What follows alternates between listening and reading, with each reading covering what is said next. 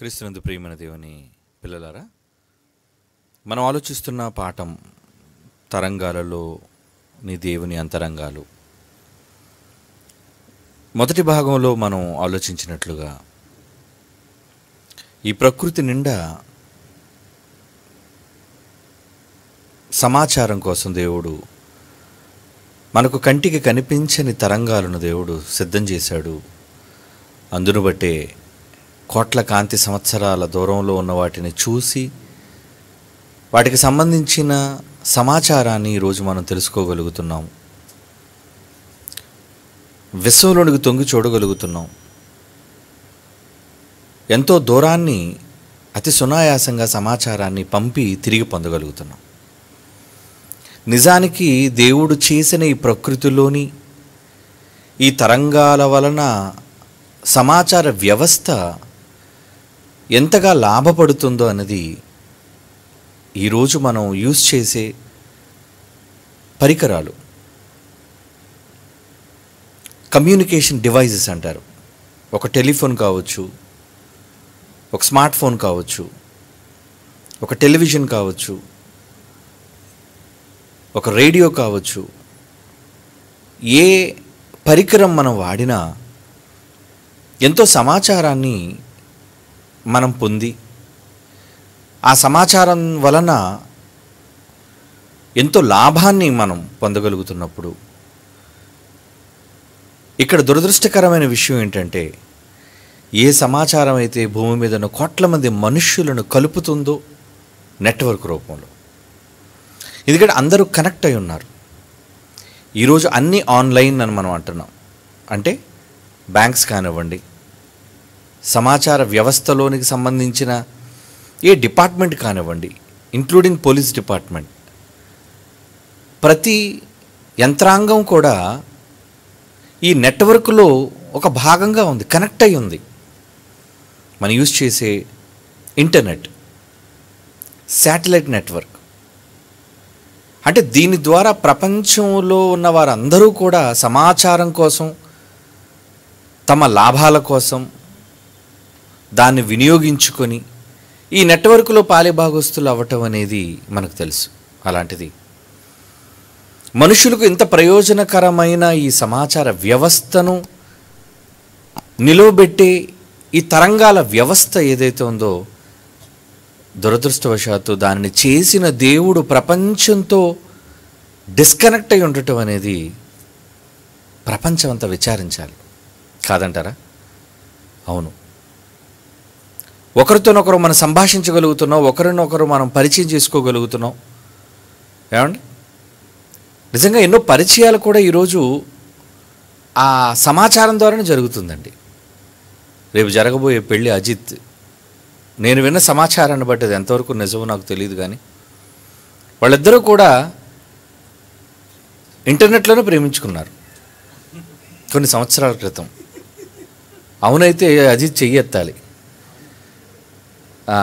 చేయెత్తాడు చూసారా? అంటే అమ్మాయిని చూడకుండా కేవలం ప్రసంగాల ద్వారా మనం లైవ్ చూస్తున్నప్పుడు ఇప్పుడు కాదులండి ఇంచుమించు రెండు వేల పదిహేను పద్నాలుగు అనుకుంటున్నాను. అన్నాడు చాలా సంవత్సరాల క్రితం. మరి అన్ని సంవత్సరాల క్రితం ఒక అమ్మాయిని ఎక్కడో ఉన్న ఒక అమ్మాయిని కేవలం చాటింగ్ ద్వారా ఎస్ఎంఎస్ల ద్వారా ముఖం చూడకుండా ప్రేమించి ఆ తర్వాత ఇప్పుడు పెళ్ళి వరకు వాళ్ళు రాగలిగారంటే ఆయన ఒక్కడే కాదండి. ఇంటర్నెట్లో చూసుకొని ప్రేమించుకున్న వాళ్ళు పెళ్ళి చేసుకున్న వాళ్ళు ఎంతమంది లేరు చెప్పండి. అంటే ఇరువురు రెండు ప్రాంతాల్లో ఉన్నవారు జీవితంలో ఒకటి కాగలిగారంటే ఈ సమాచార వ్యవస్థ వాళ్ళు ఎంత చక్కగా కలిపింది. వెరీ గుడ్ మంచిది. ఇద్దరు దూరం అయిపోతే మనకు బాధ కానీ ఇద్దరు కలిస్తే తప్పే ఉంది చెప్పండి. కలిసిన వాళ్ళు ఎళ్ళకాలం కలిసే ఉండాలని మన కోరిక. అలాంటప్పుడు మనుషులను కలుపుతున్న ఈ సమాచార వ్యవస్థ ఎందుకు దేవుణ్ణి ఈ సమాజంతో కలపలేకపోతుంది? దేవుని అంతరంగం పట్టడం లేదా ఈ మా ఈ మానవ సమాజానికి? సముద్రాలకు సప్త సముద్రాలకు ఆవలనున్న మనుషులను కూడా ఈరోజు నువ్వు నీ సంకేతాలను పంపించి వాళ్ళతో నువ్వు సంభాషించి చివరకు వాళ్ళని ప్రత్యక్షంగా చూసి ఎన్నో విషయాలను మీరు చర్చించుకోగలుగుతున్నప్పుడు మీ మనస్సులోని ప్రేమను పంచుకోగలుగుతున్నప్పుడు ఒకరి మనస్సులోని అంతరంగాన్ని ఇంకొకరితో పంచుకుంటున్నప్పుడు అంతే కదండి? ఇద్దరు ప్రేమించుకున్న వాళ్ళు వాళ్ళ మనస్సును పంచుకోబట్టే కదా? నేను మిమ్మల్ని ఇష్టపడుతున్నాను అని చెప్పబట్టే కదా? వాళ్ళను వాళ్ళు కూడా తమ మనస్సులో ఉన్న సమాచారాన్ని ఎలా చెప్పారు? అవును నేను కూడా మిమ్మల్ని ఇష్టపడుతున్నాను. ఈ సమాచార వ్యవస్థ ద్వారా దూరంగా ఉన్న ఇద్దరు కలవగా లేనిది కోటాను కోట్ల కాంతి సంవత్సరాల దూరంలో లోకాలను దాటి ఉన్న ఆ మహాతండ్రి మన దేవుడు మనకు జన్మనిచ్చినవాడు. ఆయన ఎందుకండి మనతో కనెక్ట్ అవ్వలేకపోతున్నాడు? ఆయన ఎందుకండి ఆయనతో మనం సంభాషించలేకపోతున్నాం? ఎందుకండి మనం ఆయనతో చక్కటి అంతరంగాన్ని విప్పి ఆయనతో మాట్లాడలేకపోతున్నాం? ఈరోజు చేస్తున్నట్లుగా వీళ్ళందరూ చేసే ప్రార్థనలు కాదండి. ఏదో దేవుడికి మనుషులకి నెట్వర్క్ ప్రేయర్ అని ఈరోజు చెప్పే ఈ మ- ఈ క్రైస్తవ వ్యవస్థ చెప్పే ఈ అబద్ధపు మాటలు నమ్మకండి. అందరి ప్రార్థనలు ఆయన స్వీకరిస్తాడు అనుకుంటున్నారా అందరి మాటలు ఆయన వింటాడు అనుకుంటున్నారా గతంలో చాలాసార్లు విన్నాం మీరు చేసే ప్రార్థనలకు ఆయన చెవి ఒక్కడు మీరు పిలిచే పలుకులు ఆయన వినడు ఎందుకు వింటాడు? నెట్వర్క్ కనెక్ట్ అవ్వాలి ముందు అప్పుడప్పుడు మనం కాల్ చేస్తాం కానీ పైన సిగ్నలింగ్ లేదనుకోండి. మన మొబైల్లో నెట్వర్క్ చూపిస్తుంది మనకి. అది గీతల ద్వారా మనకు చూపిస్తుంది. ఒక్కోసారి ఫుల్గా ఉందనుకో ఐదు గీతలు ఉన్నాయనుకోండి ఆ నెట్వర్క్ బాగుందన్నమాట. అలాగే నెట్వర్క్ లేని ప్రాంతాలకు వెళ్ళినప్పుడు అది ఆటోమేటిక్గా బలహీనం అయిపోతుంటుంది అది. ఒక పాయింట్ ఉందనుకోండి ఒక్కొక్కసారి ఆ పాయింట్ కూడా ఉండదు. అప్పుడు ఎన్ని కాల్స్ మీరు ట్రై చేయండి. కనెక్ట్ అవ్వరండి. మీరు అనుకున్న వాళ్ళు మీరు రీచ్ అవ్వలేరు. నిజమే కదా? మరి దేవునికి మనుషులకు ఏది ఎక్కడ ఎస్టాబ్లిష్ అయింది చెప్పండి. కనెక్షన్ ఎక్కడ నెట్వర్క్ ఎక్కడ ఎస్టాబ్లిష్ అయింది చెప్పండి. ప్రతి ప్రసంగికుడు క్రైస్తవ బోధలోనే వాడు చెప్పే మాట ఏంటంటే దేవుడికి మనుషులకి నెట్వర్క్గా పనిచేసేది ప్రార్థన అని. మీ ప్రార్థనలు ఆయన వినడం. ఏమండి? విలాప వాక్యాలు చూడండి ఒక మాట. చూద్దాం. ఎందుకంటే ఏదో మీరు భూమి మీద నుంచి ప్రార్థన చేస్తే దేవుడి దగ్గరికి వెళ్ళిపోయి ఆ నెట్వర్క్లో మీ మాటలు ఆయన సన్నిధికి చేరిపోయి ఆయన వింటాడు అనుకుంటే పొరపడుతున్నారు. విలాప వాక్యములు మూడవ అధ్యాయము నలభై నాలుగో వచ్చిన చూడండి ప్రియులారా. బైబిల్ చెబుతుంది సమాధానం. తన అంతరంగములోని మాటలను దేవుడు చెబుతున్నాడు పలుకుతున్నాడు. ఏమండి? మా ప్రార్థన మా ప్రార్థన నీ యొద్ద చేరకుండా నీవు మేఘము చేత నిన్ను కప్పుకొని ఉన్నావు. తీసారండి విలాపాక్యములు మూడో అధ్యాయం. నలభై నాలుగు కథని చదువుతున్నావు చదువుతున్నాం. నలభై నాలుగు చదివిన తర్వాత ఎనిమిదో వచ్చిన కూడా చదువుతామండి. ముందు నలభై నాలుగు చదువుతాం. ఏమంటున్నాడండి? మా ప్రార్థన నీ యొద్ద చేరకుండా నీవు మేఘము చేత నిన్ను కప్పుకొని ఉన్నావు. అంటే నువ్వు చేసే ప్రార్థన ఆయనకు రీచ్ అయిపోతుందని నువ్వు అనుకోవటం మీ పొరపాటు. ఒక్కోసారి మనం ఎస్ఎంఎస్ పెడతామండి. ఎస్ఎంఎస్ పెడతామా? పెట్టిన తర్వాత ఎస్ఎంఎస్ వెళ్ళిపోయిందని మనం అనుకుంటాం. కానీ అది డెలివరీ అయ్యిందా లేదా? వాళ్ళ వాళ్ళ మొబైల్లోనికి ఆ ఇన్బాక్స్లోనికి వెళ్ళిందా లేదా అన్నది ఎలా తెలుస్తుంది? ఒక్కోసారి నెట్వర్క్ లేనప్పుడు ఎస్ఎంఎస్ పెట్టేసినండి ఈరోజు పంపించిన మెసేజ్ రేపు వస్తుందండి. ఇదేంటిది? నిన్న రావాల్సిన మెసేజ్ ఈరోజు వచ్చిందేంటి? అంత డిలే. కారణం రెండు యంత్రాల మధ్య సరైన ఏమంటారు దాన్ని సంభాషణ లేదు. నెట్వర్క్ లేదు. కనెక్షన్ లేదు. అంతే కదండి? ఇక్కడ ఏమంటున్నాడు ఆయన? మళ్ళా చూద్దాం మా ప్రార్థన నీ వద్ద చేరకుండా నీవు మేఘము చేత నిన్ను నీవు కప్పుకొని ఉన్నావు. ఎందు వచ్చిన చూద్దాం. ఇప్పుడు ఏమంటున్నాడు ఆయన? నేను బ్రతిమాలి. చివరకు నా ప్రార్థన ఎందుకు వెళ్ళటం లేదని నేను బ్రతిమాలి. మొరలిడినను. నా ప్రార్థన వినబడకుండా. తన చెవిని మూసుకొని ఉన్నాడు అంటున్నాడు చూడండి. నా ప్రార్థన వినబడకుండా తన చెవిని మూసుకున్నాడు చెవిని మూసుకున్నాడు. ఎందుకు మూసుకున్నాడు చెవి ఆయన? ఆయన అంతరంగం అర్థం కాకుండా నువ్వు ఎన్ని ఎస్ఎంఎస్లు పెట్టినా ఈరోజు నిజంగా ఒక సౌకర్యం వాట్సాప్లో ఉన్న సౌకర్యం ఏంటంటే నిజంగా వాట్సాప్ వచ్చినంత వరకు మనం పంపిన మెసేజ్ ఎదుటివాడికి డెలివరీ అయ్యిందా లేదా అన్నది మనకు నిజంగా ప్రశ్నార్థకంగానే ఉండేది.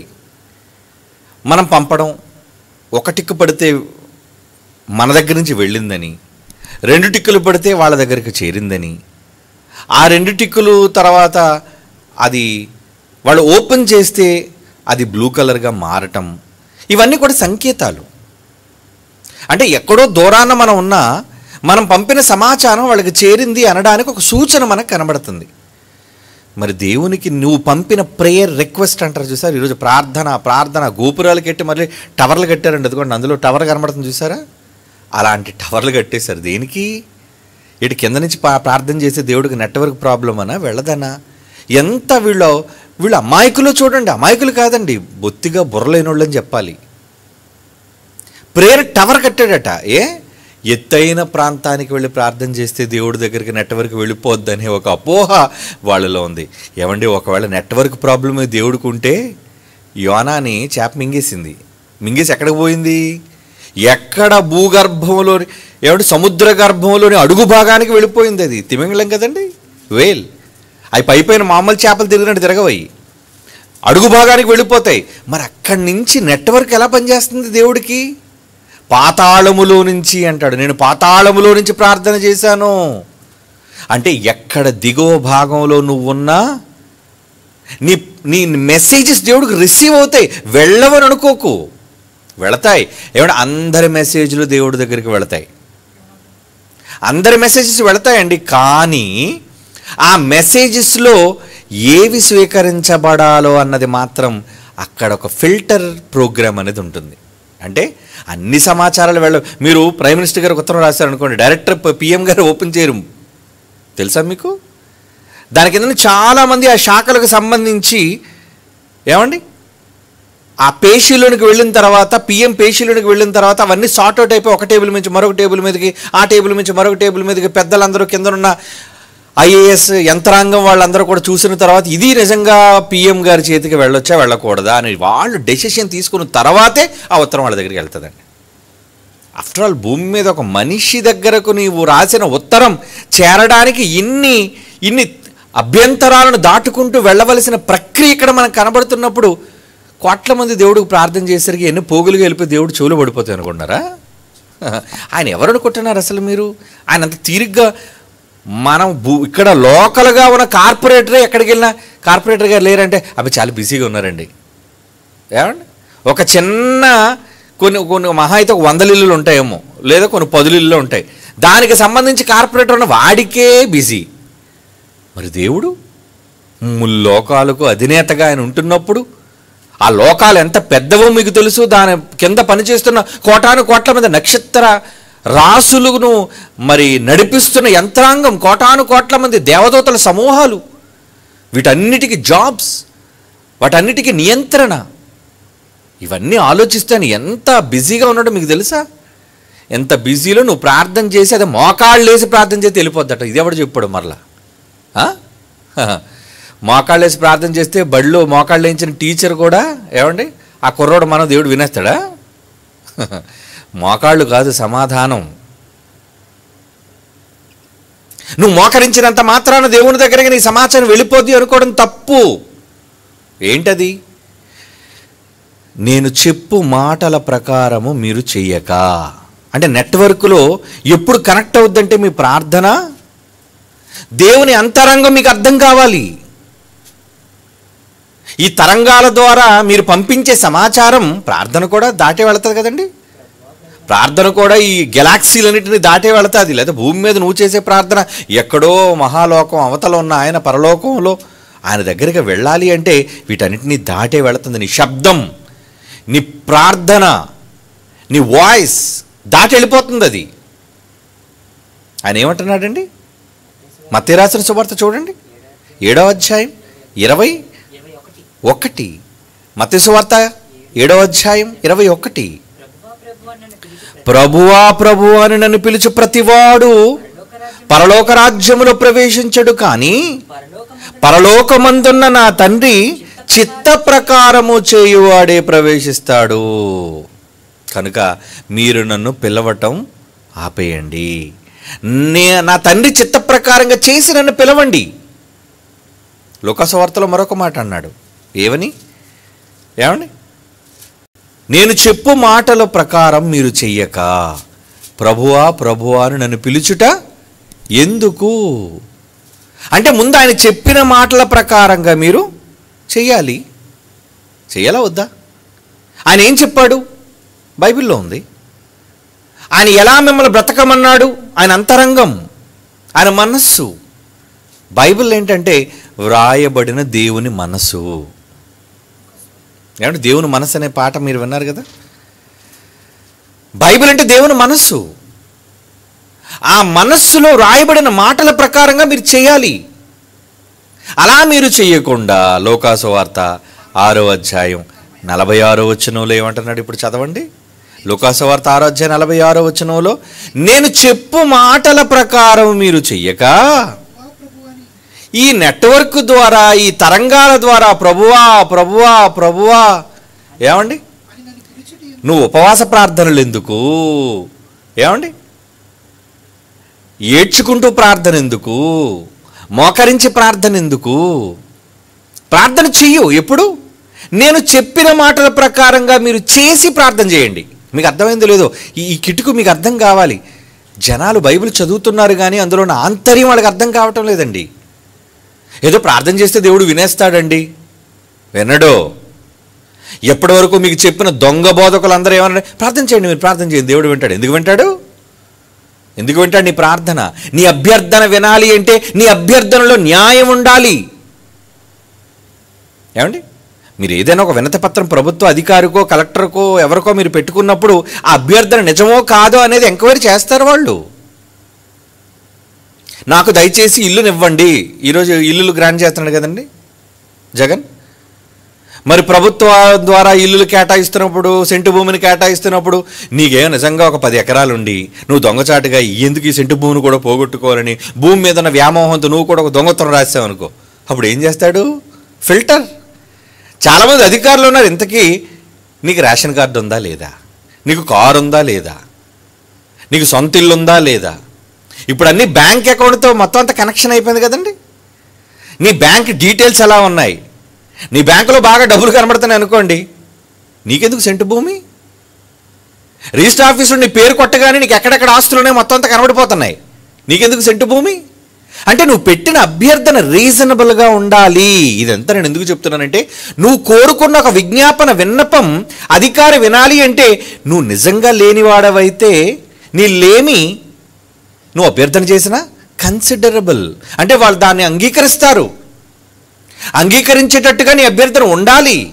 నీ క్రియలు ఉండాలి. నువ్వు బాగా డబ్బు పెట్టుకుని నాకు మళ్ళీ ఏమీ లేదని చెప్పి నువ్వు ప్రభుత్వానికి వినతి పత్రం పెట్టినంత మాత్రాన ప్రేయర్ అంటారు. దాన్ని కూడా వినతి పత్రం ప్రేయరే ప్రార్థన చేసినంత మాత్రాన భూమి కేటాయిస్తారు. నీకు? లేదే. దేవుడు అంతేనండి. నేను చెప్పు మాటల ప్రకారం మీరు చేయక లోకసవర్త ఆరాధ్య నలభై ఆరో వచ్చిన అంటున్నాడు. చదవండి మరలా మాట.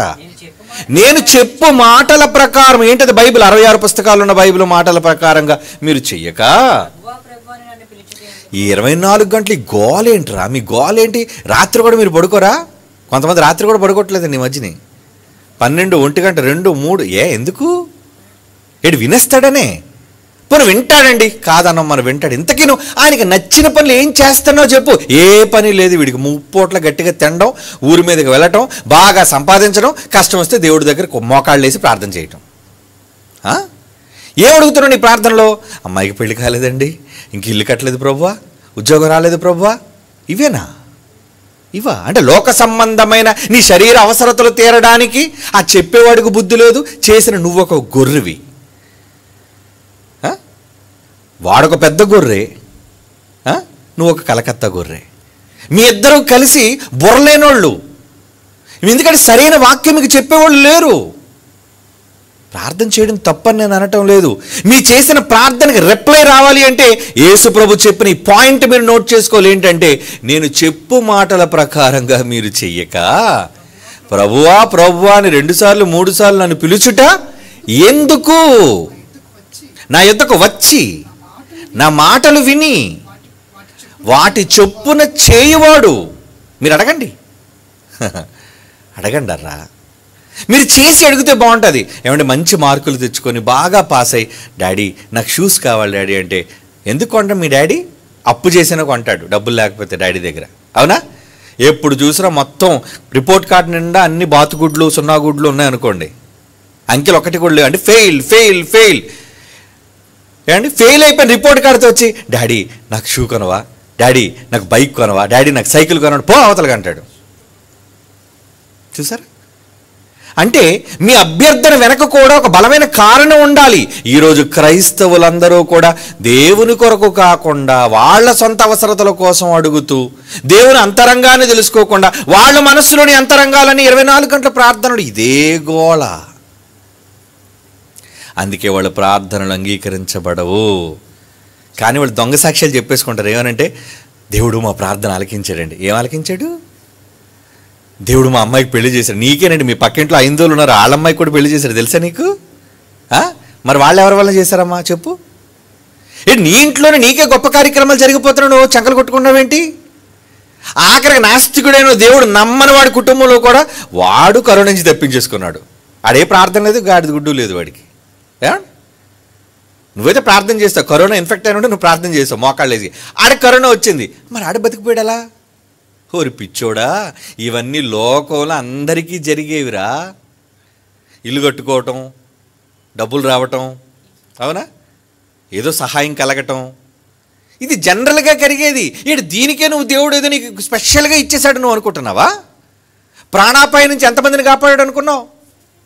నీకు తెలియదు ఎందుకంటే నువ్వు ఎలాంటోడు అంటే కళ్ళు మూసుకొని పాలు తాగే పిల్లులు అంటాడు నువ్వు. అవునా? పిల్లట కళ్ళు మూసుకొని పాలు తాగుతుందట. నన్ను ఎవరు చూడలేదని నీ వరకే నీకు తెలుసు. నువ్వు కళ్ళిప్పితే చుట్టూ ఎలా ఉందో సమాజానికి తెలుస్తుంది. నీ కుటుంబాల్లో జరిగే మేలులు ప్రపంచంలో అన్ని కుటుంబాల్లోనూ జరుగుతున్నాయి. ఎన్నో మేలులు వాళ్ళ కుటుంబాల్లో కూడా జరుగుతున్నాయి. ఏదో అంత ప్రార్థన చేసేట వల్ల నీకేదో మంచి జరిగిపోయిందా? నువ్వెందుకు ఇలాగ ఈ తప్పుడు మాటలు మాట్లాడుతున్నావు? ఇది ప్రార్థన ఎఫెక్ట్ కాదు. అలాగ అనుకుంటే ప్రార్థన వల్లే అన్నీ జరుగుతున్నాయి అనుకుంటే అసలు ఏ ప్రార్థన చేయని వాడికి ఎందుకు జరుగుతుంది? వాడి కుటుంబంలో ఎందుకు మంచి జరిగింది చెప్పండి. సమాధానం చెప్పాలి వాళ్ళు. ఏ ప్రార్థన చేయని దేవుణ్ణే నమ్మని వాడి కుటుంబంలో ఎందుకు మంచి జరిగింది? వాడికి ఎందుకు ఉద్యోగం వచ్చింది? వాడికి ఎందుకు ఇల్లు వచ్చింది? వాడెందుకు పొలాలు సంపాదించాడు? వాడెందుకు ఆస్తులు సంపాదించుకున్నాడు? వాడెందుకు బాగున్నాడు? వాడెందుకు సమస్యల నుంచి బయటపడ్డాడు? నువ్వు అడిగే ఇవే కదా ఇంకేముంటుంది? ప్రార్థనలో మీరు అడిగేది ఏంటి చెప్పండి. తండ్రి నాకు ఇది లేదు అది లేదు ఆ సమస్య ఈ సమస్య. కడుపులో నొప్పి ఒంట్లో నొప్పి రోగాలు. ఇదే కదా నీ నీ రిక్వెస్ట్ ప్రేయర్ రిక్వెస్ట్ ప్రతి బోధకుడు వేసుకునే ఒక ఒక చెత్త పదం ఏంటంటే మీ ప్రార్థన అవసరతల కొరకు మమ్మల్ని సంప్రదించండి. నిన్నెందుకు సంప్రదించాలరా? దేవుడిని అడిగితే చాలు. నువ్వెవడ మధ్యలో నువ్వు మధ్యలో దేవుడికి లింక్ ఏంటి? ఇలాంటి తప్పుడు మాటలు ఎందుకంటే సత్యం తెలియదండి. మరలా చెప్తున్నాను. మహాజ్ఞానం అనేది ప్రపంచానికి తెలియాలి అంటే అది కేవలం Christ Church Bible Open University ద్వారానే తెలియాలి. ఇప్పటివరకు చెబుతున్న వాళ్ళంతా కూడా గారడి వాళ్ళు. మీ జేబులో డబ్బును కొట్టేయడానికి రా మీకోసం ప్రార్థన చేస్తాను. కమాన్ డబ్బులే చందాయి స్పెషల్ ప్రేయర్ రిక్వెస్ట్ లూటీ చేయడానికి వ్యాపారం చేయడానికి నీ అవసరతను వాడుకుంటున్నారు వాళ్ళంతా. నీకు తెలియదు నువ్వు అమాయకుడివి. బైబిల్ తెలియదు. చదువు బైబిల్ చదువు బాగా అర్థమవుతుంది నీకు. లేదా రా మేము నేర్పిస్తాం బైబిల్ చక్కగా. దేవుని పిల్లల. ఎవరికి అర్థమైంది చెప్పండి దేవుని అంతరంగం. ఎంతసేపు నీ గోడ నీ గోడు వినిపించడానికి నాలుగు గోడల మధ్యకి వెళ్ళిపోవాలంటావు? లేదంటే మిద్ది మీదకి వెళ్ళిపోతానంటావు? రాత్రిపూట మోకాలు చేసి ప్రార్థన చేస్తానంటావు? ఇదేనా నీకు అర్థమైంది దేవుని అంతరంగం?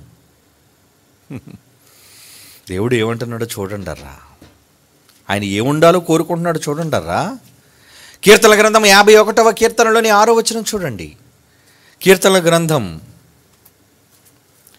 యాభై ఒకటవ కీర్తన ఆరో వచనం.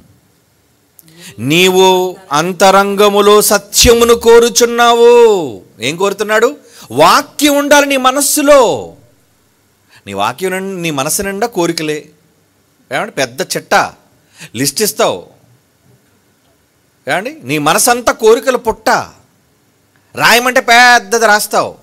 పచారీ సరుకులకు రాసినట్టుగా. పప్పు ఉప్పు కందిపప్పు. నీవు అంతరంగములో సత్యమును కోరుచున్నావు. ఆంతర్యమున నాకు జ్ఞానము తెలియజేయవదు నీ అంతరంగములో ఏముండాలంటున్నాడండి? ఆయనతో కనెక్ట్ అవ్వాలి అంటే ఈ తరంగాల ద్వారా నీ మాట ఆయన ఎందుకు చేరాలి అంటే నీ అంతరంగంలో ఏం కావాలి?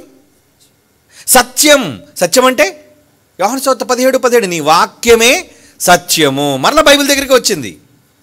బైబిల్ అర్థమైతే మీరు సత్యంలో ఉన్నట్టు ఆ సత్యంలో ఉంటే దేవుడు మీతో ఉన్నట్టు మీ మాట విన్నట్టు. వింటాడు ఆయన నీ ప్రార్థన వింటాడు. కీర్తన అరవై ఆరో కీర్తన చూడండి. నిజంగా నీ మనస్సులో వాక్యాలను ఉంచుకుంటే అరవై ఆరవ కీర్తన ఇరవై వచనంలో ఏమంటున్నాడు చూడండి ప్రియులారా. అరవై ఆరవ కీర్తన ఇరవై వచనం. దేవుడు నా ప్రార్థనను త్రోసివేయలేదు అంటే త్రోసివేయలేదు అంటే మిగతా త్రోసేస్తాడనే కదా కొన్ని సందర్భాల్లో? తోసేయ్ అంటాడు. నా ప్రార్థన తోసివేయలేదు అన్నాడు చూడండి భక్తుడు. దేవుడు నా ప్రార్థనను త్రోసివేయలేదు. నా యొద్ద నుండి తన కృపను తొలగింపలేదు అంటున్నాడు చూడండి. అంటే చాలా ప్రార్థనలు గెంటి వేయబడుతున్నాయి. చాలా ప్రార్థనలు తోసివేయబడుతున్నాయి. నీ ప్రార్థన? ఆలోచించు. నీ ప్రార్థన తోసివేయబడకుండా ఉండాలి అంటే ముందు దేవుని కాడిని నీ భుజస్కంధాల మీద వేసుకో. నీ భుజాన్న మోయి దేవుని పనులు చెయ్యి. ఆయన ఇష్టం ఏంటో తెలుసుకొని దేవుని ఇష్ట ప్రకారంగా నీ బ్రతుకులో నువ్వు పనులు చేయగలిగితే నువ్వు అడుగయ్యా. అన్ని ప్రార్థనలు పక్కన పెట్టి నిన్ను రమ్మంటాడు. రా కనెక్ట్ చేయండి ఆ లైన్ కనెక్ట్ చేయండి అంటాడు. ఏంటి ఆయన ఏం అవసరం నీకు చెప్పు. ఆయన పని మీద వెళుతున్నాడు కాబట్టి యోనా చేప మింగేసింది తప్పు చేశాడు పశ్చాత్తాపం వచ్చింది. భూగర్భంలోనికి వెళ్ళి అక్కడ పాతాళం నుంచి ప్రార్థన చేస్తున్నా. విన్నాడా? విన్నాడు. సరే అన్నావు కదా కక్కే ఆయన బయటికి కక్కే అన్నాడు. వింటాడు ఆయన? ఎప్పుడో తెలుసా? నువ్వు ఆయన పని కోసం మరలా నువ్వు అలర్ట్ అయిపోయినప్పుడు. నీ తప్పు నువ్వు తెలుసుకుని దేవుని పనిలో మరలా నువ్వు కొనసాగాలి అనే నిర్ణయాన్ని నువ్వు తీసుకున్నప్పుడు నీ ప్రార్థన వింటాడు. ఎందుకంటే ఆయన అంతరంగం నీకు అర్థమైంది. నీ అంతరంగం నువ్వు చెప్పకపోయినా నాకు అర్థమైపోద్ది. ఎందుకంటే దేవుడు ఎలాంటాడు తెలుసా? మాట అని మీ నోట రాక మునుపే. నీ మనసు అంతా తెలిసినవాడు నీ అంతరంగం అంతా తెలుసు ఆయనకి. నీకు ఎటొచ్చి తెలియంది ఏంటంటే ఆయన అంతరంగమే. నీ మనస్సు ఆయనకు తెలుసు నీదే కదా ప్రపంచంలో అందరి మనస్సులు ఆయనకు తెలుసు. కానీ ఆయన మనస్సు తెలుసుకునే వాళ్ళు ఎవరున్నారు చెప్పండి? ఆయన అంతరంగాన్ని తెలుసుకున్న వాళ్ళు ఎవరున్నారు చెప్పండి? ఆయన మనస్సులోని విషయాలను తొంగిచూచి తెలుసుకుని దాని ఇష్ట ప్రకారంగా చేసేవాళ్ళు ఎవరున్నారు చెప్పండి? గిఫ్ట్ తీసుకురావడం గొప్ప విషయం కాదండి. వాళ్ళకు ఉపయోగపడే గిఫ్ట్ తెలుసుకొని తీసుకురావడమే చాలా శ్రేయస్కరం. వాళ్ళకి ఏది ప్రయోజనకరం? వాళ్ళకి ఏది ఇష్టం? ఇష్టాన్ని తెలుసుకొని మీరు గిఫ్ట్ ఇవ్వాలి కానీ ఏదో మీకు తోచింది ఏదో గిఫ్ట్ ఇచ్చేస్తే ఎలా?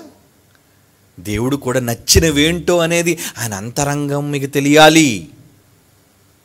ఆయనతో మీకు సమాచారం లేదు. కట్ అయిపోయింది మాట్లాడడం మానేశాడు ఆయన. అప్పుడప్పుడు డిస్కనెక్ట్ అయిపోద్దండి. సౌలు ఎప్పుడైతే తప్పు చేశాడో చెప్పాను గతంలో మీకు సౌలు ఎప్పుడైతే దేవుడు చెప్పిన మాట వినలేదు నేను చెప్పే మాటల ప్రకారంగా మీరు చెయ్యక. యహోవా ప్రభువా దేవా అని నువ్వు పిలిచినా రే నా చెవులు మూసుకుంటాను రా అన్నాడు కదా ఇందాక మీరు చదివారు కదా విలాపాక్యముల్లో సౌరు తప్పు చేశాడు నువ్వు వెళ్ళు. నేను చెప్పిన పని నువ్వు తూచా తప్పకుండా ఒక్కటి కూడా మిస్ కాకుండా చేయాలి. సౌలు చెప్పాడు వెళ్ళాడు. దేవుడు చెప్పిన కొన్ని చేశాడు కొన్ని చేయలేదు. ప్రవక్తను పంపించాడు వెళ్ళో. ఆ వినబడుతున్న ఎడ్ల రంకులేంటి నాకు? ఎందుకు వచ్చాయి అవి? వాటిని చంపేమని చెప్పాను. శత్రు దేశం నుంచి ఏది ఈ దేశంలోకి రాకూడదని చెప్పాను. అయినా వాడు నా మాట వినలేదు. ఇక చెప్పు. ఇక నేను వాడితో మాట్లాడదలుచుకోలేదు. ఇక నేను వాడు మాట వినదలుచుకోలేదు. సమూహలు మొదటి గ్రంథం. పదిహేనవ అధ్యాయం. సమూహలు మొదటి గ్రంథం పదిహేనవ అధ్యాయం అండి. ఇరవై రెండో వచనం. దేవుడు ఏమంటున్నాడు? ఆలోచించు. బలులు అర్పించుట కంటే ఆజ్ఞను గైకొనుట పొట్టేళ్ళ క్రొవ్వు అర్పించుట కంటే మాట వినుట శ్రేష్టము. మాట్లాడడం మానేశారండి. నెట్వర్క్ డిస్కనెక్ట్ పాపం చాలాసార్లు సౌలు దేవుడికి సమాచారం పంపిస్తున్నట. ఎస్ఎంఎస్లు పెడుతున్నట్టు దేవుడా ఎస్ఎంఎస్ వాయిస్ మెసేజ్లు వీడియో కాల్స్ ఆడియో కాల్స్ అన్నీ చేస్తున్నట్ట బైబిల్ ఏం రాయబడింది తెలుసండి? ఆ కాలమందు సౌలుతో దేవుని వాక్యము ప్రత్యక్షమగుట అరుదు. సమూహలప్పుడు కూడా అలాగే ఉందండి పరిస్థితి. సౌలప్పుడు కూడా పరిస్థితి అలాగే మారిపోయిందండి. ఆయన మాట్లాడడం మానేశాడు. ఎప్పుడైతే మాట్లాడడం మానేశాడో ఆఖరికి ఒక సోది చెప్పేదాని దగ్గరికి వెళ్ళాడు. సమూహలు మొదటి గ్రంథం ఇరవై ఎనిమిదవ అధ్యాయం ఆరో వచనం. సమూహలు మొదటి గ్రంథం చూడండి సాక్ష్యాలు బైబిల్లో. సమూహలు మొదటి గ్రంథం ఇరవై ఎనిమిదో అధ్యాయం ఆరో వచనం. ఏమంటున్నాడు? యెహోవా యుద్ధ విచారణ చెయ్యక యెహోవా స్వప్నము ద్వారానైనను ఉరీము ద్వారానైనను ప్రవక్తల ద్వారా ప్రవక్తల ద్వారానైనను. ఏమీ సెలవీయక ఉండెను. కరెక్ట్ అయిపోయింది కనెక్షన్. తరంగాలు రావటం లేదు. ఎందుకంటే నువ్వు దేవుని అంతరంగాన్ని తెలుసుకోలేదు మిస్టర్ సాల్. అప్పుడు సౌలు నా కొరకు మీరు వెంటనే ఆ కర్ణ పిశాచ కలిగిందని నేనే పంపించేశాను వెళ్ళగొట్టేశాను దేశంలో నుంచి. దేవుడికి నచ్చక. ఆ స్త్రీని ఎక్కడుందో దాన్ని పట్టుకొని రండి. నేను పోయి దాని చేత విచారణ చేయుదును. ఎందుకు సౌలుకి దుర్గతి పట్టింది చెప్పండి? ఎందుకు సౌలుకి పరిస్థితి వచ్చింది చెప్పండి? దేవుని అంతరంగాన్ని తెలుసుకోవడానికి తప్పు చేశావు. దేవుని అంతరంగాన్ని సరిగ్గా తెలుసుకోకుండా నువ్వు పని చేశావు. సౌలు లాంటి అభిషేకింపబడిన రాజుకే ఇలాంటి గతి పట్టినప్పుడు నువ్వు సౌలు కంటే గొప్పోడువా? ఆ రోజు సౌలు మీద దేవుని ఆత్మ ఉందండి. సౌలు అభిషేకింపబడ్డాడండి సమూహల ద్వారా. దేవుని యొక్క కృప కరుణ ఆయన మీద ఉందండి. పరిశుద్ధాత్మ దేవుడు ఆయన మీద దిగాడండి. అవన్నీ వెనక్కి వెళ్ళిపోయాయి. దానికి కారణం? దేవుని అంతరంగాన్ని తెలుసుకోలేదు. మాట వినలేదు. నేను చెప్పు మాటల ప్రకారంగా మీరు చెయ్యక ఇప్పుడు ప్రార్థన మీరు అటాచ్ చేసుకున్న దానికి. దేవుడు బైబిల్లో ఏం చెప్పాడు అది చెయ్యండి ముందు. ప్రార్థన చేసే వీరులు యోధులు ఏవో చెప్తుండే కదండి? ప్రార్థన పరులట ప్రార్థన యోధులట ప్రార్థన వీరులట. దేనికి బాబు? వీరులు మీరు? సిగ్గుండాలి ఆ మాటలు మాట్లాడుకోవడానికి. నువ్వు ముందు ప్రార్థనలో కాదు నీ వీరత్వం చూపించవలసింది. పనిలో. దేవుడి ఇష్టాన్ని నెరవేర్చడంలో యోధుడిగా పనిచేయి. దేవుడి ఇష్టాన్ని నెరవేర్చటంలో నువ్వు పోరాటం చేయి. నీ ప్రార్థన ఎందుకు వెంట దేవుడు? ఇవేవి చేయడు. ఇరవై నాలుగు గంటలు సంపాదన ఇరవై నాలుగు గంటల ఉద్యోగం ఇరవై నాలుగు గంటల కుటుంబం వ్యాపారం ఇవన్నీ నీ పనులు చేసుకొని ఆదివారం ఒక్కరోజు వచ్చేసి మొకాళ్ళ ప్రార్థన చేస్తాడండి. దేవుడు అంతరంగం అర్థం కాలేదర్రా మీకు. నువ్వు నిజంగా ఎన్ని సమాచారాలు పంపించినా వినడు. సౌలు సౌలు ఎగ్జాంపుల్ మీకు సౌలే. తృణీకరించి తోసేశాడు తోసేయ్. మొదటి సమయలు గ్రంథం ఇరవై ఎనిమిదో అధ్యాయం పదిహేను వచ్చినం సమయలు గ్రంథం మొదటి గ్రంథం ఇరవై ఎనిమిదో అధ్యాయం పదిహేను వచ్చినం ఏమంటున్నాడు? సమయలు. ఎందుకు పైకి రమ్మని తొందర పెట్టావు సౌలు? అడుగుగా సౌలు అంటున్నాడు. నేను బాగా కష్టాల్లో ఉన్నానయ్యా ఇబ్బందుల్లో ఉన్నానయ్యా. నా మీదకు వచ్చారు. దేవుడు నన్ను ఎడబాసి ప్రవక్తల ద్వారా కానీ స్వప్నముల ద్వారానైనా నాకేమీ సెలవివ్వటం లేదు కనెక్షన్ కట్ అయిపోయింది. దేవుడు నన్ను ఎడబాసెను. మరి వీళ్ళు ప్రార్థన చేస్తే దేవుడు కనెక్ట్ అయిపోతాడా? ఎంత దొంగ మాటలు నేర్పిస్తున్నారండి. నువ్వు చేయవలసిన పనిని నీకు నేర్పించడం మానేసి ప్రార్థన వీరులు యోధులని చెప్పి తప్పుడు విధానాన్ని నేర్పిస్తున్న ఈరోజు క్రైస్తవ సమాజానికి వీళ్ళు. అబద్ధ బోధకులు దొంగ బోధకులు. ప్రార్థన చేయాలట. దేనికి ప్రార్థన? ఒకటి తలవారులేసి ప్రార్థన చేయాలంటాడు. ఒక రాత్రి ప్రార్థన చేయాలంటాడు. చెయ్యు ప్రార్థన చేయటం తప్పు కాదు. ముందు పని చెయ్యి బిడ్డ. పని చెయ్యి. దేవుడికి నచ్చిన పని చెయ్యి. ఆయన అంతరంగాన్ని తెలుసుకో. అప్పుడు నీ స్వరం వినిపించు. నువ్వు గట్టిగా మాట్లాడిన అవసరం లేదు. మనస్సులో అనుకుంటే వెళ్ళిపోద్ది సమాచారం. నీ అంతరంగంలో అనుకుంటే ఆయన దగ్గరకు వెళ్ళిపోతుంది నీ సమాచారం. అర్థం కాలేదు దేవుని మనస్సు. ఏమండి? సామెతల గ్రంథం ఇరవై అధ్యాయం ఇరవై ఏడు. అందుకే నీ మనస్సు ఎలా ఉందో దేవుడు మిమ్మల్ని అందరినీ పరిశీలిస్తున్నాడు. మనం అంతా ప్రార్థనా పరులమే కదండి. ఇప్పుడు కాకపోయినా ఎప్పుడో ఒకప్పుడు ప్రార్థన చేస్తుంటాం. ఆళ్ళగా రోజంతా ప్రార్థన చేయకపోయినా ఎప్పుడో ఒకప్పుడు ప్రార్థన చేస్తాం. ఏదో ఉదయం లేచినప్పుడు రాత్రి పడుకున్నప్పుడు భోజనం చేసినప్పుడు ప్రార్థన చేస్తాం మనం. ఏమండి? అలాంటప్పుడు దేవుడు ఏం చేస్తాడు? నువ్వు ప్రార్థన చేసే ముందు సామెతల గ్రంథం ఇరవై అధ్యాయం ఇరవై ఏడు వచనం. నరుని ఆత్మ యహోవ పెట్టిన దీపం అది అంతరంగములన్నీ శోధించిన. స్కాన్. నీ మనస్సు ఎలా ఉందో ఆయన ప్రతిరోజు శోధిస్తున్నాడయ్యా. పరిశీలిస్తున్నాడయ్యా. నీ ప్రార్థన వినాలో లేదో అదే అదే నిర్ణయిస్తుంది. ఇవన్నీ ఆలోచించకుండా నా ప్రార్థన వెళ్ళిపోతుంది. దేవుడు వింటాడు. దేవుడితో నేను కనెక్ట్ అయిపోయాను. ప్రపంచం అంతా డిస్కనెక్ట్ అయిపోయిందండి దేవుడితో.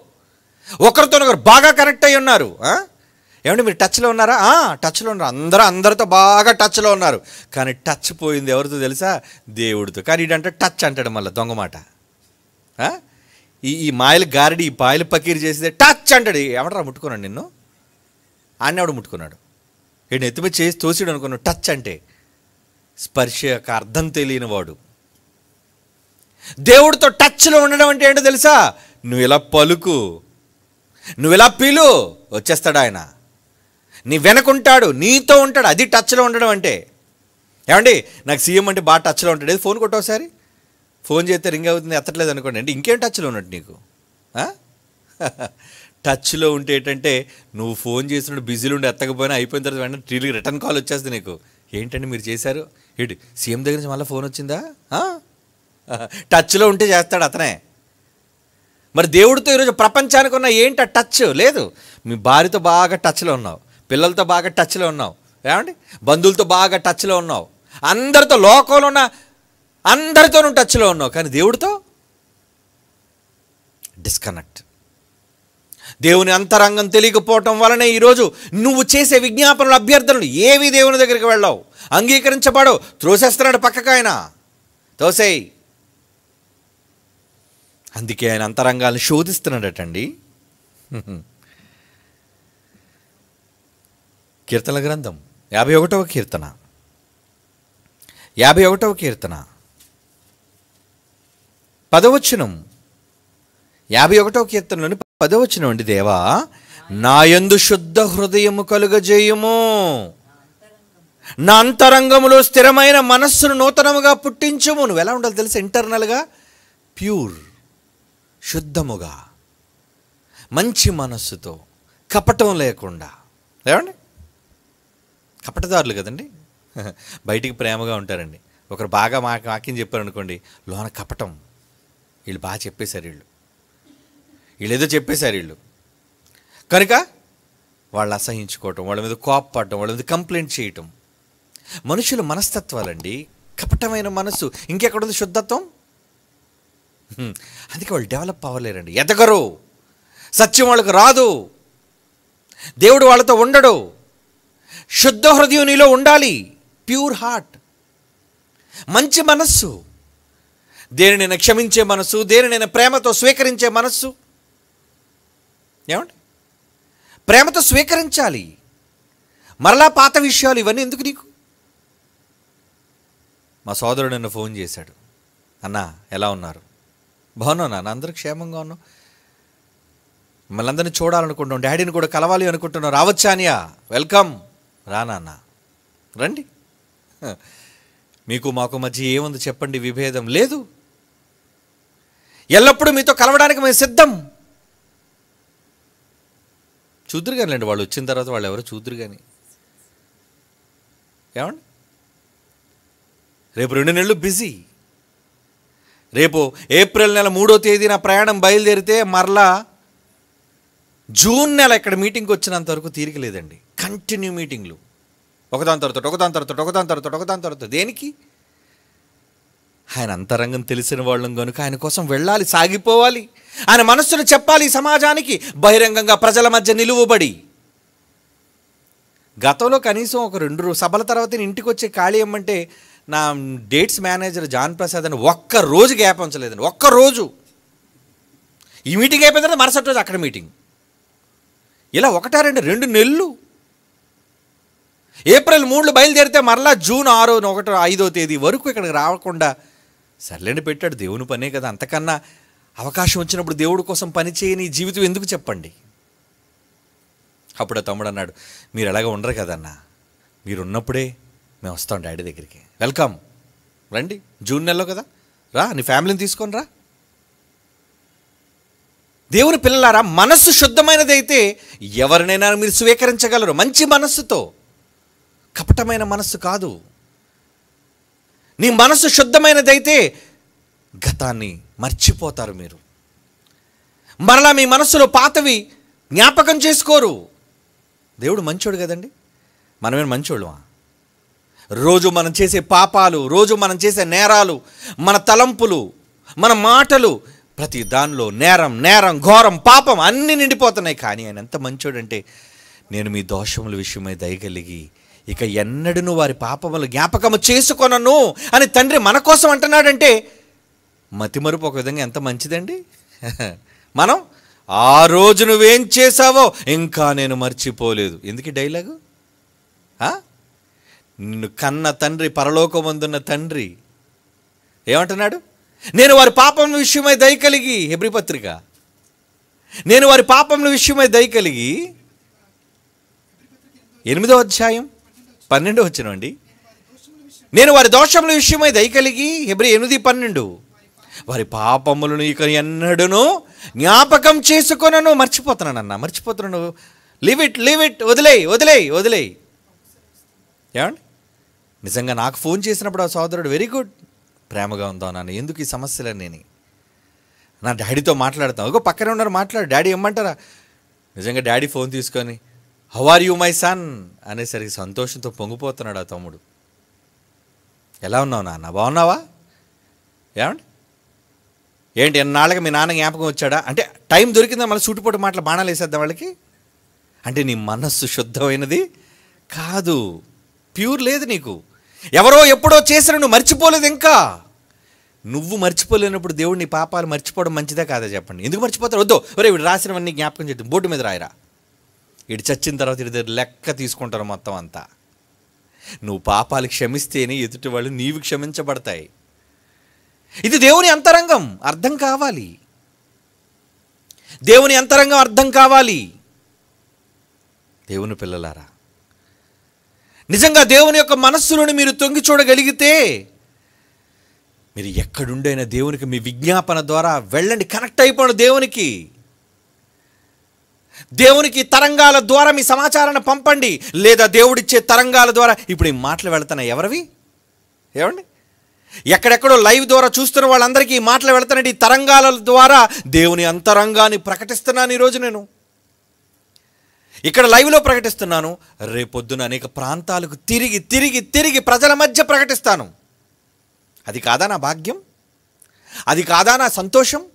అది కాదా ఆనందం? ఎందుకంటే దేవుని అంతరంగం అర్థం కావాలి అంటే దేవుడికి నేను ప్రార్థన చెయ్యాలి అంటే మొదట నేను ఆయన చెప్పిన వాటల ప్రకారంగా నేను చెయ్యాలి. ఆయన ఏం చెప్పాడు? మీరు సర్వలోకమునకు వెళ్ళి సువార్త ప్రకటించున్నాను. చెప్పు నా కోసం. నా కోసం నువ్వు చెప్పు.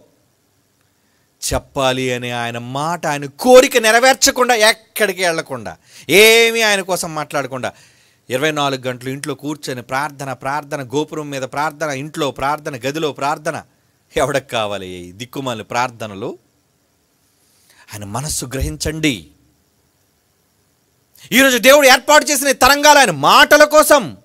ఒక్క మాటలో చెప్పాలి అంటే అండి ఈరోజు టోటల్ నెట్వర్క్ సిస్టమ్ అంతా ఉంది అంటే అది దేవుని మాటలకి first priority top most priority ఇవ్వాలంటే ఈ సమాచార వ్యవస్థలన్నిటి ద్వారా మొట్టమొదట వినిపించబడవలసింది దేవుని సమాచారం.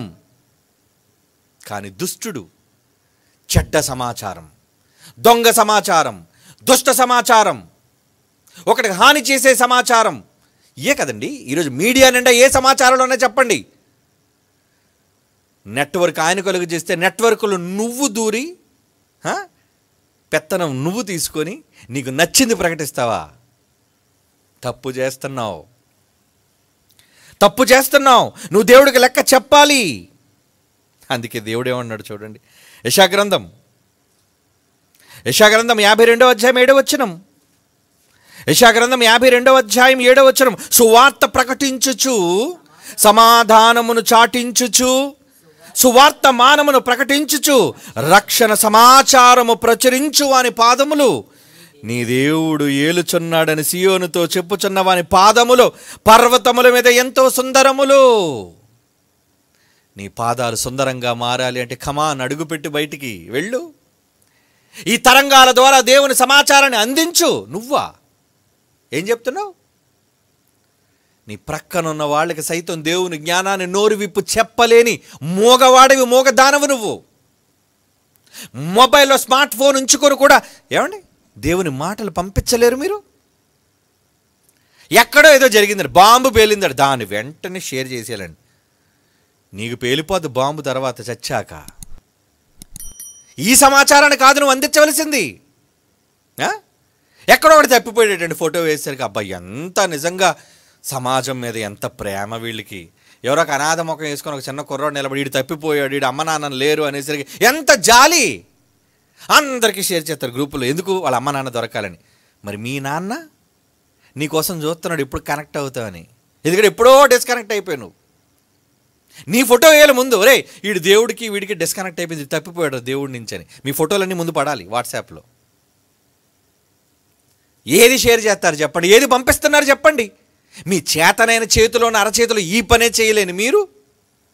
ఇక మరలా బయటకి వెళ్ళి సువార్త ప్రకటించి మీ పనులు మానుకొని మీ ఉపాధి మానుకొని ఊరూరా తిరిగి దేవుని వాక్యం చెప్తారు మీరు. అంత గొప్ప భాగ్యమా దేవుడికి? మీ వల్ల? సిగ్గుపడండారు. సిగ్గుపడండి. చీ మేమేం చేయలేకపోతున్నాం దేవునికి. దేవునికి దూరం అయిపోయాం.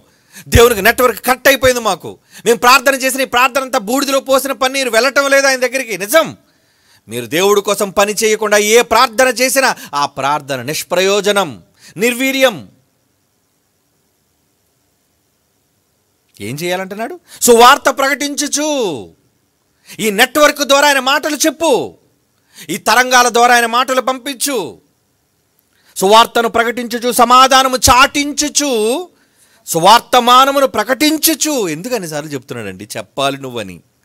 రక్షణ సమాచారము ప్రచురించు అని పాదములు. ఆహా దేవుని పర్వతాల మీద సుందరములు అంటున్నాడండి. యశాగ్రంథం అరవై రెండు పదకొండు. యశాగ్రంథం అరవై రెండు అధ్యాయం పదకొండు వచ్చిన ఆలకించుడి. మీతోనే చెప్తున్నాడు ఆలకించుడి. భూదిగంతముల వరకు యహోవ సమాచారము ప్రకటింపజేసి ఉన్నాడు. ఇదిగో రక్షణ మీ యొద్దకు వచ్చి ఉన్నది.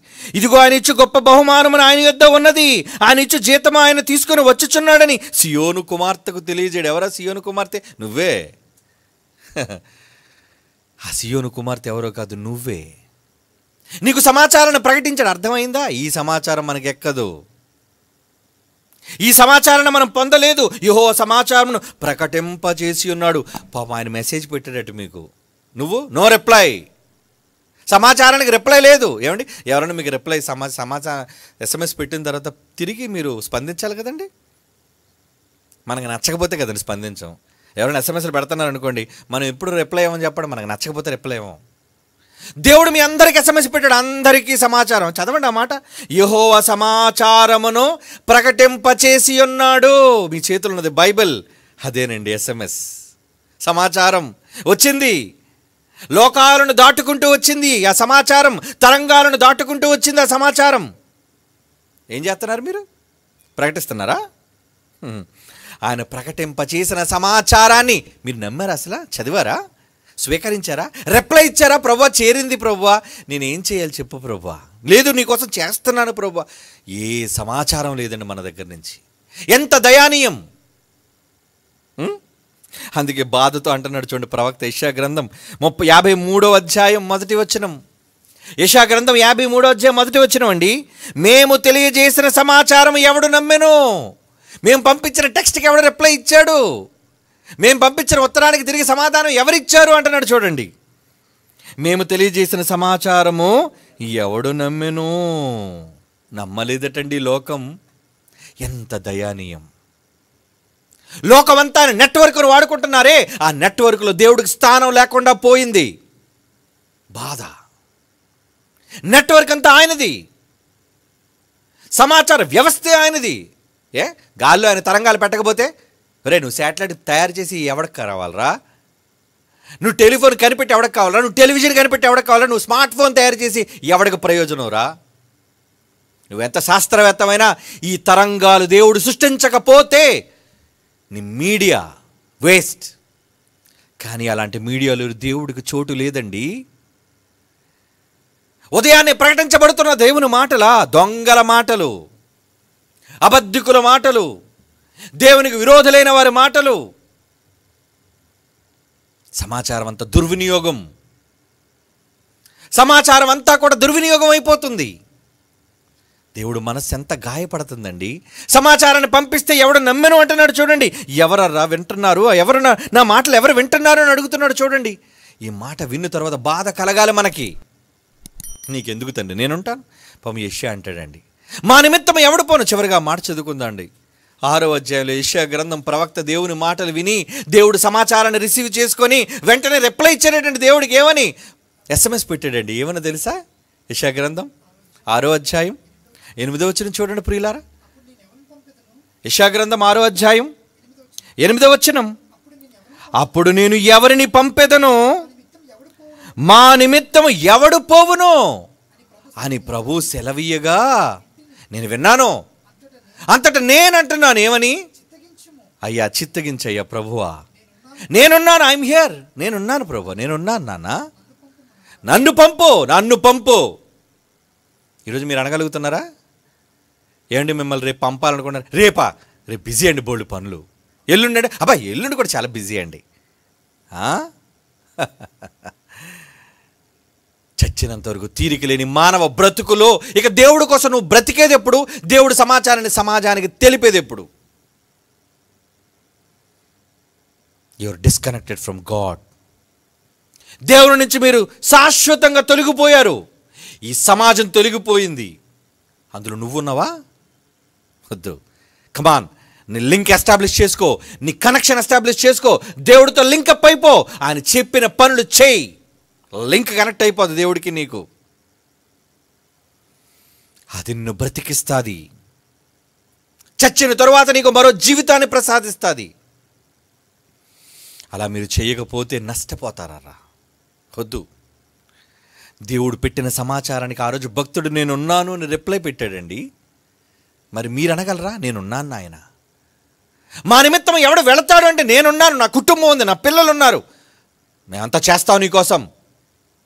అనగలరా? చెయ్యండి రా ఈ సమాచారాన్ని సమాజానికి ప్రకటించడం కోసం ఉన్నవి అమ్ముకున్నా పర్లేదు డోంట్ కేర్. కానీ సమాచారం సమాజం దగ్గరికి వెళ్ళాలి అందాలి. అందడానికి ఏం అమ్ముకున్నా పర్వాలేదు. చెప్పండి. ప్రకటించండి. రేపు విశాఖపట్నంలో సభలు పెడుతున్నారండి. లక్షలు కావాలి పిల్లలకి లక్షలు. ఇస్తారా? ఏమిస్తామండి మేము ఇవ్వలేం. మీరే నిర్ణయం తీసుకోండారా? దేవుని కోసం మీరు ఏం చేయగలరో ఏం చేయాలనుకుంటున్నారో? అయిపోలేదు ఒకరోజుతో అయిపోలేదు. ఈ సంవత్సరం వచ్చే సంవత్సరం ఆపై వచ్చే సంవత్సరం మీ బ్రతుకున్న సంవత్సరాలన్నీ దేవుని కోసం ఆయన సమాచారాన్ని ప్రకటిస్తూనే ఉండాలి. తెల్లవారు లేవగానే పెందలకడని ఆయన సమాచారాన్ని పెట్టాడే తన కొడుకుని లేపాడే ఆ ఎస్ఎంఎస్ నీకు పెట్టాడే ఆ ఇన్ఫర్మేషన్ నీకు ఇచ్చాడే. మరి నువ్వు పెందలకడ లేచి ఏం చేస్తావు? ఊరి మీద ఉన్న సమాచారం అంతా చూస్తావు దిక్కుమల పేపర్లోను ఆ దౌర్భాగ్య టెలివిజన్లోను. లేదా నీ మొబైల్లో చూస్తావు. ఏంటండి ఫ్రెష్ న్యూస్ ఏమొచ్చింది? అప్డేట్స్ ఏమొచ్చాయి? ఏ పనికి మళ్ళీ నాకు వాట్సాప్లో పెట్టాడు మెసేజ్? దేవుని సమాచారాన్ని ప్రకటించడం కోసం తెల్లవారి లేచి నువ్వు చేసే పనేంటి? సిగ్గుపడాలి సమాజం. దేవుని నమ్మానని చెప్పుకొని మీరు సిగ్గుపడాలి. ఇక మీదటైన మీ జీవితంలో దేవునితో ఒక మంచి సహవాసం అన్యోన్య సహవాసం అన్నాడు. అందుకే మొదటి ఆనుపత్రిక మొదటి అధ్యాయం ఆరు ఏడు ఎనిమిది తొమ్మిది వచ్చిన చదవండి ఇంకా టైం లేదు. దేవునితో అన్యోన్యత కనెక్షన్ ఎస్టాబ్లిష్ అయిపోవాలా? ఆయన వెలుగులో ఉన్న ప్రకారం మీరు వెలుగులో నడిచిన ఏడల వెరీ గుడ్ కనెక్షన్ ఇద్దరి మధ్యన మంచి ఎస్టాబ్లిష్మెంట్ ఇద్దరు టచ్లో ఉన్నారు. అలా దేవుడితో టచ్లో ఉండడానికి ట్రై చేయండి. కళ్ళు మూసుకొని ప్రార్థన చేసుకుందాం. పరిశుద్ధమైన తండ్రి దేవ ఎల్లప్పుడూ మీతో కలిసి నడవాలని కోరుకుంటున్న వాళ్ళం. చావు మమ్మల్ని విడదీసినంత వరకు మేము ఎల్లప్పుడూ మా నడక మీతోనే ఉండగలుగుటకు సహాయం దయచండి చనిపోయినా బ్రతికున్నా మేము నీతోనే ఎల్లప్పుడూ ఉండగలిగే భాగ్యాన్ని మాకు అనుగ్రహించండి. అడుగుపెట్టే ప్రతి చోట మీ సమాచారాన్ని ప్రజల గుండెల్లో సూటిగా ప్రకటించి వారి మనస్సులో నీ వైపు త్రిప్పే జీవం కలిగిన మాటలు మా నోట ఉంచండి. క్రీస్తు వారి పుణ్యనామాన్ని ప్రార్థన మీకు సమర్పించుచున్నాము తండ్రి. ఆమెను.